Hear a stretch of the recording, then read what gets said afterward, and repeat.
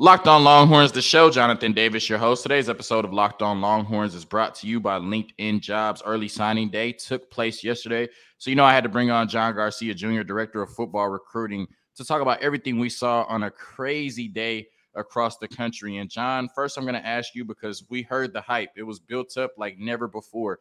This offseason was going to be crazy. And we saw some craziness on early signing day. So, I'm going to ask you, somebody who eat eats, sleeps, and, and breathes recruiting. Their early signing day failed to meet expectations. Did it meet expectations, or did it exceed expectations yesterday based on what you thought would happen? I mean, from a working perspective, it exceeded expectations. We were a lot busier than I thought we would be. There was, there's always going to be drama, you, you know that, but you know the the Peyton Bowen fiasco, not signing the letter of intent uh, that was was a, a bit of a curveball. Ditto for Cormani McClain. So maybe the top safety and the top corner in the country. A lot of drama with those guys. Um, there were big flips early in offense, so we had to pivot pretty quickly. Uh, thanks to Oregon, uh, kind of stealing everybody's thunder. So yeah, it, it, lived up to expectations. You know, the, these these new coaching staffs hit the ground running. Auburn in particular, I thought uh, Deion in Colorado made some some moves as well. So it was busy. It was a little bit of everything. So much so that these great classes at the top of the rankings, Alabama, Texas, Georgia, almost didn't get talked about as much because we knew they would be great and they confirmed it. But all the surprises thereafter kind of took away, in my opinion, from from their shine just just a little bit. Yeah, you spoke of uh, Peyton Bowen. I just saw like 10 minutes ago uh, somebody from Rivals put in a future cast for Oklahoma. So yeah, I, I don't even. That I, thing I is think, wild. That thing yeah, is I think I think we're far from done with that saga, and I wouldn't be surprised at this point if he ends up at Oregon, Notre Dame, or Oklahoma. So um, I guess that's a, a, a wave that we'll be focusing on here in the near future. And then you mentioned Cormani McClain. Everybody expected him to sign with Miami. And then next thing you know, he's getting future cast put in for Colorado with Deion, right? So Yeah. I, I guess we'll just have to figure this out. This is locked on Longhorns, though. So we're here to talk about the Texas recruiting class. And we know that they're not necessarily done with the recruiting class, but everybody that has committed thus far signed on the dotted line. So how would you evaluate this 2023 class for Texas now from top to bottom, since everybody that's committed to the Longhorns has signed with the Longhorns and Steve Sarkisian? Look, this is an elite class. I mean, there, there's really no other way to look at it. You, and you hit a lot of marks at the end of the cycle, right? When you have a great group, what questions pop up? Okay, are they all going to sign? And who's going to withstand the poachers, right? Every the flip game is is such a big part of December. Who who can withstand it? Ryan Niblett, Johntay Cook, Malik Muhammad, Cedric Baxter, um, uh, Sydir Mitchell. There was some buzz late Derrick Derrick Williams with from Miami. others. Derrick Williams, uh, not only buzz about other schools, but maybe waiting till February. Texas and that group combated all of that, and and they all signed, as you mentioned. So I think that alone says a lot. And then you went out and pulled another upset, right? Uh, Tausili Akana out of Utah. Texas was kind of hanging around in this recruitment. And then at the very end, here we go. Texas upsets Oklahoma for a pass rusher, uh, just like we saw with Colton Vasek and some others. So you- you're also checking boxes against your primary recruiting rival in out recruiting them overall and at the very end for a, a common target. Um, and then when you zoom out even further, I, I love the balance of this class. You sign the five offensive linemen after signing the best O line class in the country last year. That is very, very hard to do. Uh, you you completed the flip of Anthony Hill. There was no drama there. Uh, that one could have gone a little bit sideways just based on how quiet it was. I think Hill took one visit after the decommitment, and that was it. And, and I know droves of schools were trying to get him on campus late in the game. There was some Miami buzz at the 11th hour there. Um, so you hit on big defensive targets. There's balance. Uh, love the trench class, particularly on the offensive side. You did hit some pass rusher marks on the defensive side. Um, and you know, I've been a big fan of, of this secondary for quite some time. I, I really like Malik Muhammad. I think he's one of the best corners in the country. Derrick Williams, drama aside, elite, elite safety. He's ready to play sooner rather than later. And then obviously offensive skill. I don't have to dig into Arch and Baxter and Cook and Niblett and these receivers. You know, I don't have to dig into those guys. And then we'll, we'll still see about DeAndre Moore, right? So, so that could be kind of the final skill position piece offensively uh, to really round out that that receiver core because you've got Cook can do everything. Uh, is your slot gadget type guy, and then Moore to me is your balanced, steady receiver who could work on the other side. He's he's your your guy in the margins who can make plays for you. So I, I would really like how that would round out the class. But look, this is a great, great, great class that Texas is bringing in. I think a lot of these guys are going to play very early on the 40 acres. Um, Arch Manning aside, I think it's going to be an instant impact group. Uh, so yeah, it's it's about as good as I think Texas fans could have hoped for, and and I think it shows it shows a lot of mettle um, not not the substance, but metal. M E T T L E, shows a lot of grit uh, from this coaching staff because when you bulk up in the summer and you you go on a run like Texas did, it's easy to lose some of that a momentum or b targets. It's easy to lose some of those guys later in, the cycle. We we saw it happen at A and M. We saw it happen at Michigan State. We've seen it happen at Notre Dame. We've seen it happen at a lot of these places that went on these summer runs it didn't really happen at Texas. I don't know the final decommitment numbers.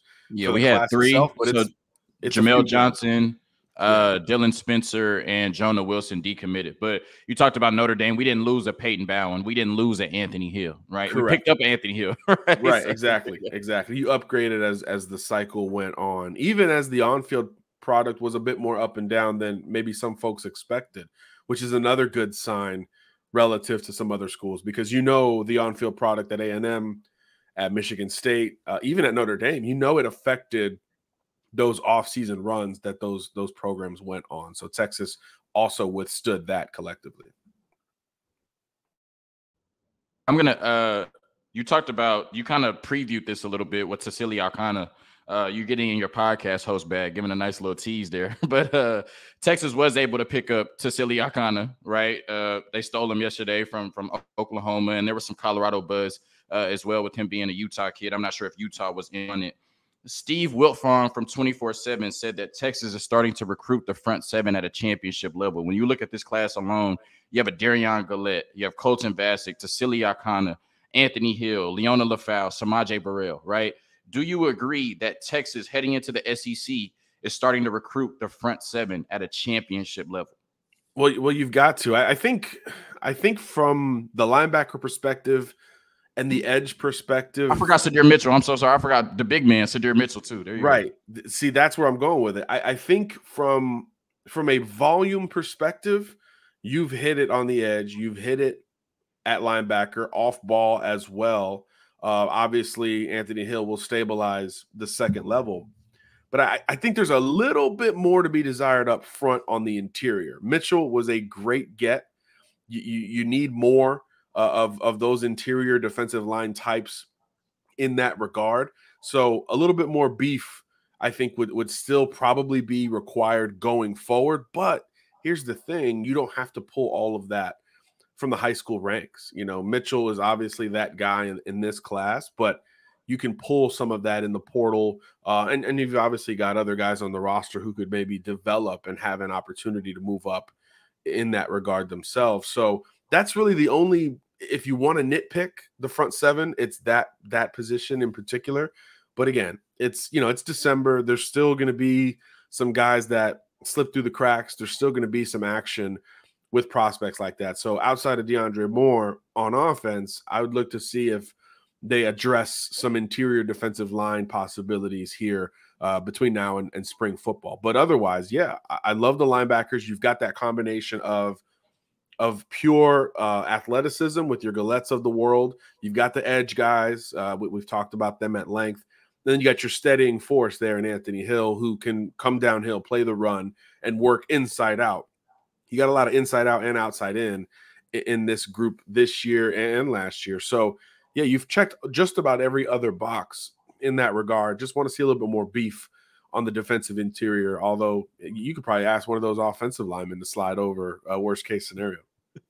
Yeah, the beef is going to be really important headed to the SEC in a few years. Quick word from Bet Online, and then we're going to talk about DeAndre Moore and then a transfer corner that the Texas Longhorns picked up yesterday on early signing day as well. BetOnline.net is your number one source for sports betting info, stats, news, and analysis.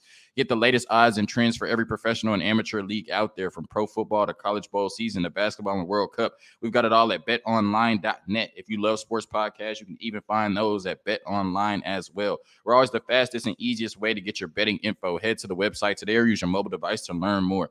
BetOnline, where the game starts. So, John, recruiting is so crazy, right? That DeAndre Moore is committed to Louisville. Yet there probably were more Longhorn fans watching St. Bosco signing day presentation than Louisville fans were because most Longhorn fans felt like it was a foregone conclusion that DeAndre Moore would eventually flip to the University of Texas, and most of them felt that he would sign with Texas on early signing day at you know St. John Bosco's high school presentation. That did not happen. He did not sign at all. Do you think that's a good sign or a bad sign for the University of Texas moving forward, knowing that Louisville and Georgia are still very much at play in his recruitment? Look, when when you don't sign with the school you're committed to and it, it gets delayed or pushed or what have you, it's always good news, in my opinion, for everyone else. So just like you said about Peyton Bowen, okay, he gets, he commits to Oregon and then he doesn't sign, and now days it, it's been 24 hours probably good news for Oklahoma or maybe even Notre Dame uh, at this stage, right? So ditto for DeAndre Moore, uh, committed to Louisville, coaching change, um, and, and St. John Bosco played really late into December, right? They won the national title at the high school level, so they're playing later than most everyone else. So while the coaching change goes down, you have less time, less visits to really go figure out, hey, is this where I want to go with this new coaching staff, not the one that I committed to. Even though the reputation is positive and offensive with with Brohm, you still have to go build those relationships. So you understand why a California kid of all is going to be a little bit more hesitant. Ditto, he took a bunch of visits late in the game, Texas and Georgia, most notably. Uh, so yeah, I think him not signing with Louisville is a good sign for Texas and Georgia collectively. But I think there's been more buzz uh, with Texas uh, really down the home stretch. I'd say since Thanksgiving we felt like DeAndre Moore is more likely to, to flip to Texas than to Georgia. So I haven't heard anything tangible to make me come off of, of that notion. And him not signing to me furthers uh, the opportunity Texas has uh, either Thursday or Friday uh, to wrap up uh, what is a very interesting recruitment among the many that are still going on. I'm glad you said that because Texas fans took it as the complete opposite. Hell, I took it as the complete opposite. I'm like, oh, he didn't sign yesterday. He's going back to Louisville.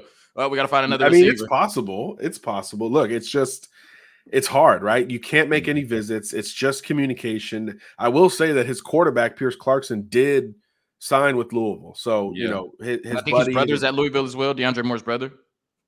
Yes, he is as well. Yeah, so I mean, there there are there are some some opportunities for for Louisville to win this thing back. Nothing is out of the realm of possibility, but again, I, I think Texas has done all it could on its end, and that's probably is still the school that I would expect him to end up at. That's good. Yeah, we have to say the the brother being there and his quarterback being there somewhat uh significant since Tausili Akana committed to Texas in large part because his sister plays volleyball there, right? So yes. we have to That's on both sides absolutely see that as significant. Texas picked up a big commitment from a corner in the transfer portal, Gavin Holmes from Wake Forest. And when you looked at the transfer class last year, Ryan Watts may have been the like unsexiest name that they pulled in in the seven transfers. But when you look at it just respective to his position, he might have been the best transfer that Texas brought in last year. You know, he came in, started opposite D'Shawn Jamison, and really stabilized that DB position on a, a, defense that did a complete 180 from 2021. Based on what you know about Gavin Holmes, do you see him coming into the University of Texas, Texas and having that same type of impact that Ryan Watts did last year? Well, we know there's a lot of of turnover in the secondary, right? Going into last year, we talked about the experience that Texas had back there. So naturally, going into 23, you're like, okay, well, we might still be seeing how that dust is settling, but reinforcements are needed either way. So I think in that regard, bringing somebody with two years starting experience in the ACC, uh, especially where they throw it a, a bunch, is is good news, right? Gavin Holmes is a guy who's been productive at Wake Forest. Um, he, has been able to work multiple cornerback positions. Uh, he, he, gets his hands on the football. He's he's got all that experience to his name on top of it. So that can't hurt. And and that's the thing. We, we talk about it a lot at quarterback. When you bring in transfers, when you bring in high school players, all that stuff, you need to create competition, right? So when you bring them in through the portal and they've got that experience, there is an expectation that they're going to have an opportunity to play right away. Uh, so I think it kind of it lights a fire on both sides of the equation. He wants to come in and make a strong impression, and then the other guys are like, "Well, well, we want that spot too." So I think it creates a really nice situation for every school, but Texas included, because um, you can't have enough DBs. It's like pass rushers. We talked about that all last year. You can't have enough pass rushers who can get after the passer, and having an experienced corner uh, who's who's put on some good weight since he got in, into the collegiate game.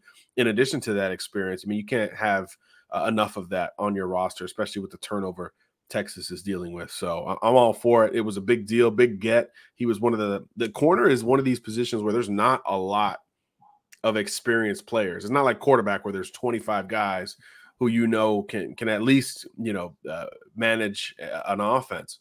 Corner from a starting or experience perspective, it feels like there's less than 10 in this class to date that, that are floating around there in the portal. So to grab one of them is a really big deal for Texas. Yeah, Texas rotated a lot of DBs last year for various reasons. So you have to expect somebody with two years of starting experience and Gavin Holmes will be able to make an impact on this defense next year. A quick word from the Longhorn real estate team. And then I'm going to ask John about the impact this 2022 and 23 Texas class will have in the future. Dwell in Austin and Hill Country Mortgages have combined to make your Longhorn real estate team. For all your real estate needs, please visit www.longhornrealestateteam.com. In a changing, more complex market, you need to work with the top professionals in Austin. Our data and information driven approach gives our clients a significant advantage. Decades of experience in all market conditions make us able to achieve the best results for our clients. And our clients for years have outperformed the market, leveraging our proprietary research, information, and expertise which is now more important than ever. Dwell in Austin. Hill Country Mortgages have combined to make your Longhorn real estate team. For your real estate needs in the Austin area, please visit www.longhornrealestateteam.com. Hill Country Mortgages LLC. NMLS 2324262. Jonathan Sarver, NMLS 993872. Equal housing opportunity.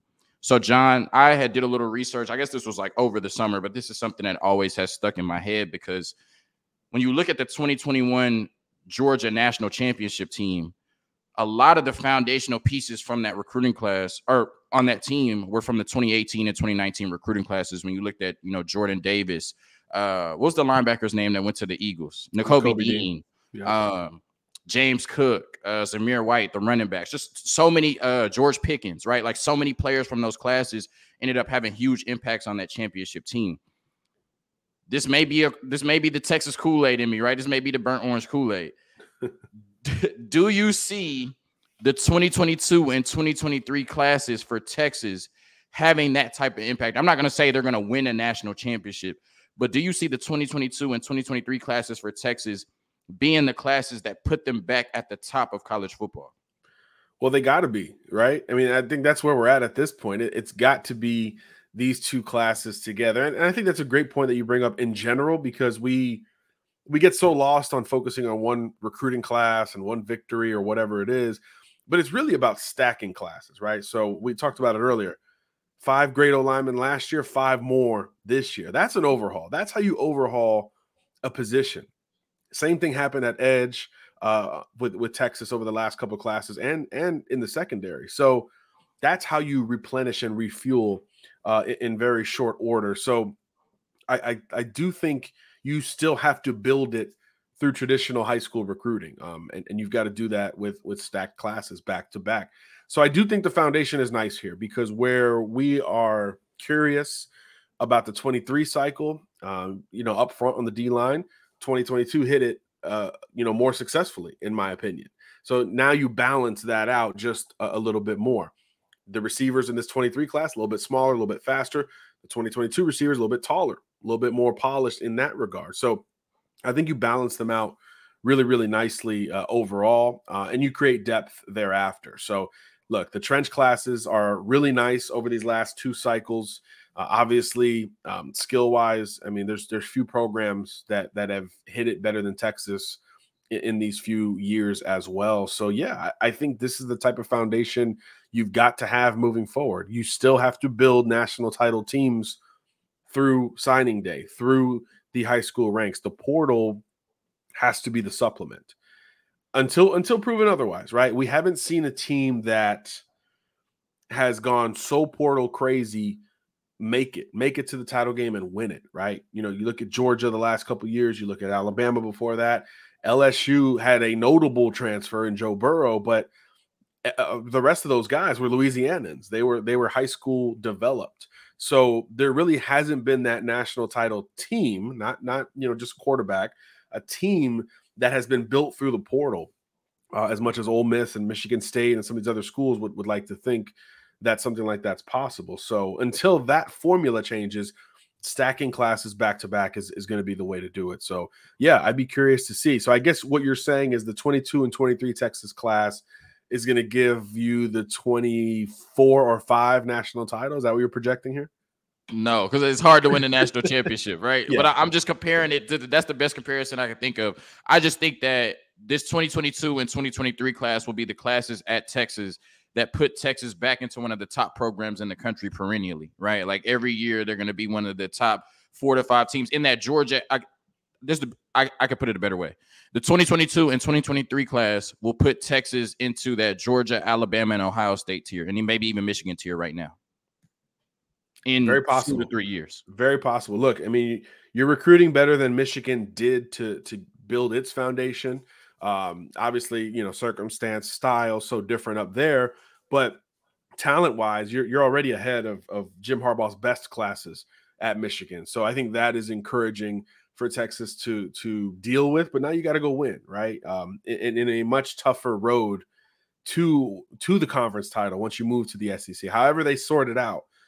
That's, that's not going to be easy, right? You know, you think of those those programs that are powers in that conference there's not a lot of reason to believe they're going anywhere, right? Georgia certainly doesn't look like they're budging anytime in the next decade.